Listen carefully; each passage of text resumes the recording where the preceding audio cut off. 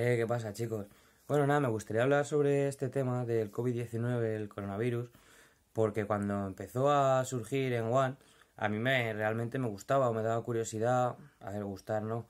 Pero sí que me daba curiosidad ver los vídeos de la gente de allí grabándose, hablando del tema, a ver, que yo no sé chino, no sé si me estaban engañando los que lo doblaban o no, pero me gustaba verlo, o sea, informarme.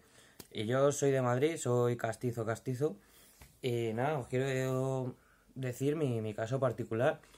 Eh, en el trabajo, trabajo en una empresa de muebles, pero la seguridad es máxima. Estamos llevando guantes, estamos llevando mascarilla.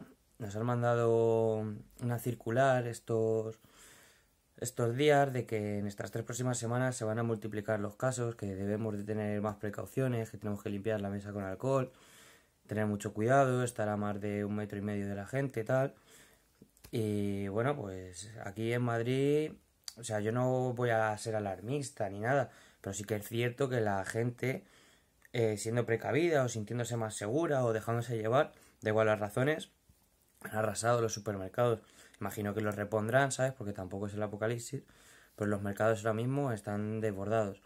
La sanidad, los hospitales, pues se están mandando muchos. Yo no he en ningún hospital, pero se están mandando muchos audios de WhatsApp y y muchas cosas, vídeos tal, de que los hospitales están saturados, de que hay plantas cerradas, de tal, pascual.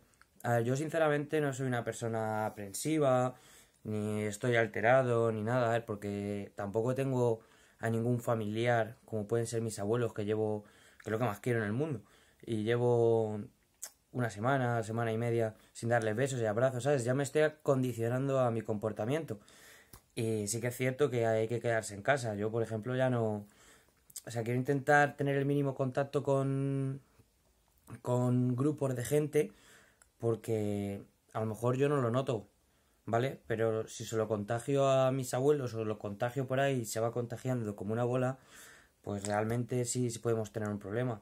Yo no sé si vamos a acabar como en Italia, si se va a acabar. Yo pienso que en dos semanas no se va a acabar, pero tampoco pienso que sea el apocalipsis. Pienso que llegaremos a un punto máximo y de ahí pues iremos reduciendo y nada, lo importante es no, no colapsar la sanidad todos al mismo tiempo, porque según he estado leyendo o viendo, o sea, no sé si estaré bien informado o mal informado, lo vamos a tener muchos. El problema es tenerlo todos a la vez. Así que esta es la, la situación de, de Madrid. Que a mí me gustaría saber los casos particulares de la demás gente. ¿Qué pasa en vuestros puestos de trabajo? ¿Qué estáis viendo? Si sois de otras comunidades, me gustaría que me dijerais ¿sabes? En un comentario, nada, pues yo hago esto en mi trabajo, nada, pues yo tengo esto. O si sois de otros países, pues más todavía. Sino simplemente por, por curiosidad, por, por hablarlo, ¿sabes? Aquí en Madrid ahora mismo pues ha parado la liga, yo juego al fútbol, o sea, las ligas más bajas, primera regional, preferente, segunda, tercera, pues están fuera también, ¿sabes? Han suspendido dos semanas primera y segunda división nacional, pero la madrileña, la Federación Madrileña, también está, está cerrada. A ver, yo creo que, que después de dos semanas no vamos a jugar igualmente. Porque cada día hay más casos. Yo estoy en el trabajo y de repente, pipi, miro en el móvil, tal infectado, tal infectado, pasa esto, pasa lo otro. Que a día de hoy, que yo no estoy alarmado ni preocupado, pero sí que es cierto que, que impresiona, ¿sabes? Que vas con la mosca detrás de la oreja, tal. Y pues eso, no estoy impresionado porque todavía no tengo a nadie de mi familia sufriendo ni nada, que por ejemplo coge mañana y lo coge mi abuelo, por ejemplo, que para mí es la desgracia más grande del mundo. Y ya sí que, pues se acabó. Pero vamos, cada día hay más infectados y tal, pero de momento la situación es esa, eh, hospitales saturados, eh, Mercadona, Sarramás, Lidl y tal. Eh, la gente se ha llevado todo. Y por lo demás, en los puestos de trabajo, aunque no sean puestos porque yo no trabajo de cara al público, la seguridad eh, está siendo máxima porque hay miedo. La gente tiene sus empresas y si se queda sin trabajadores se deja de producir. Pero es que también los proveedores tienen que ir.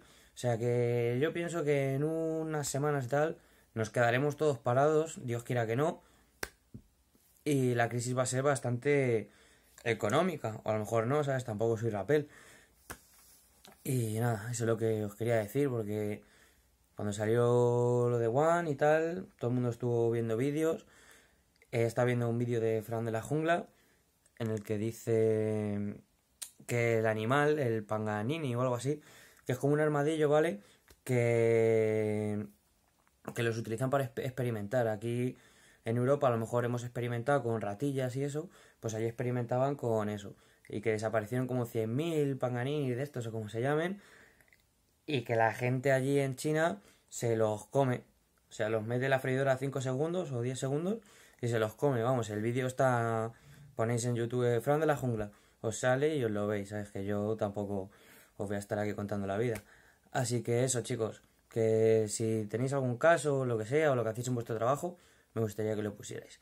Así que nada, chicos, un saludo y ya veréis cómo salimos de esta todos. Así que nada, un besito, cabrones.